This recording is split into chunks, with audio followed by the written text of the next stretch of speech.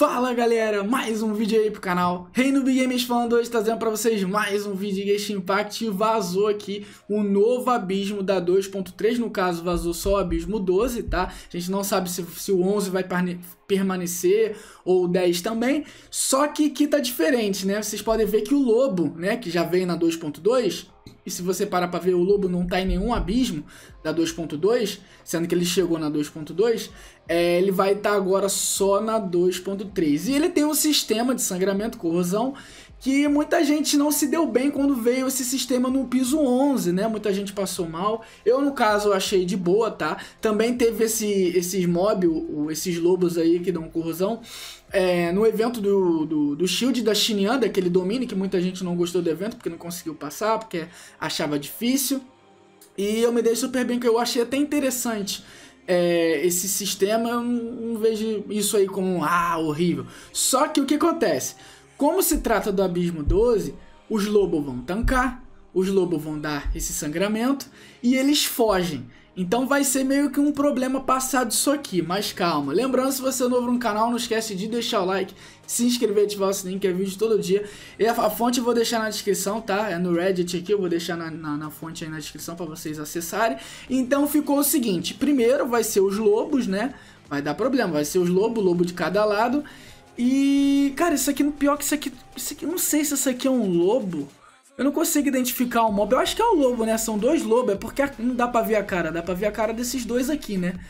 Desse aqui eu acho que deve ser o, os lobos pequenininha, porque tá muito ruim de enxergar. Mas enfim, então no caso vai ser os lobos, tá? Que vai dar problema para aqueles que não tem healer bom, tá? Lembrando que mesmo com o escudo, se você tiver no L, Zongli, o teu HP vai descer, tá? Porque o sistema de corrosão ele funciona assim, ele drena a vida, mas enfim, aí a gente tem no 12 aqui, no primeiro, na primeira onda, o Jovichap, o grandão, boss semanal, Boys, é, boy, não, Boys semanal não, Boys Elite, perdão, que gasta 40 resina, mas como é abismo não vai precisar gastar. E ele vai estar tá lá, tá completo. É um boss, digamos, que dá para passar, não é um boss que dá trabalho, é super fácil. E tem os três Mago Kenk aqui. Esses três Mago Kenk, eles não vão tancar igual um só, tá? Obviamente a vida deles vai ser reduzida, só que tem um porém. Se eu não me engano, se você não matar os três de uma vez, exemplo, você matou um, sobrou dois, exemplo, vamos supor aqui, a, a, a você tem três aqui e dois tá com a metade da HP e um já tá morrendo. Se você matar o primeiro, o HP deles é, é, é renovado, entendeu? O HP sobe. Então é tipo samurai. É tipo samurai.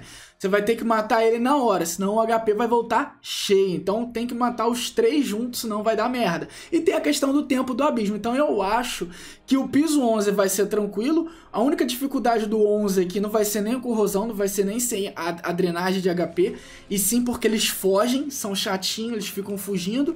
E aqui o problema vai ser só esses Mago Kenk de matar os três junto, né? Matar os três junto é chatinho e também eles, tão, eles dão bastante dano também. É um boss chatinho de passar, tá? Teve uma vez que veio um evento dele, tinha que matar ele, foi chatinho. Aí tem o 3, tá? O último piso, que vai ser o lobo, que já escapa. Vai ser esse aqui, é, que, é aquele, que é aquele mob que desce debaixo da terra, que várias vezes no, no, abismo ele não te segue, que isso é um problema. E tem outra aqui, que é meio que aquela água-viva me, mecânica, enfim. Então o 11, o 11 não, desculpa, o 12 aqui vai estar tranquilo no último piso, no piso, no primeiro aqui.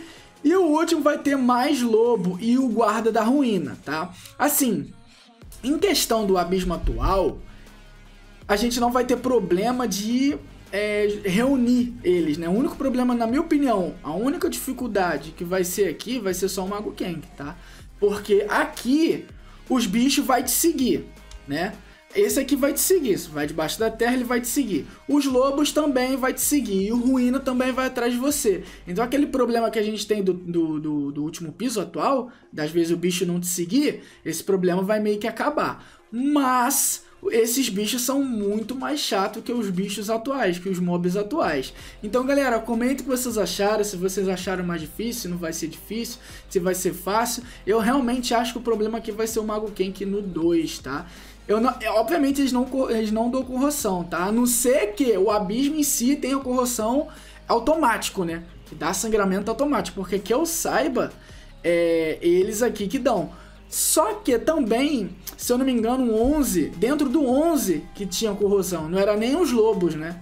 Os lobos eles dão isso, mas tinha um sistema no abismo que o próprio piso dava isso. Eu não sei se todos os pisos aqui do abismo 12 vai ter corrosão. Aí fudeu. Se tiver, vai ser um problema. Porque o Mago Kenk é chato. Se o Sharp aqui também é chatinho. É fácil, mas é chatinho. Porque, principalmente a, na ult do Bennett, né? Que ele cobre a ult do Bennett todinho. Então você mal aproveita o Bennett contra ele. Mas é isso. É, vai dar trabalho, enfim. Então, galera, eu vou ficando por aqui. Comenta o que vocês acharam. É isso aí, até o próximo vídeo. Valeu!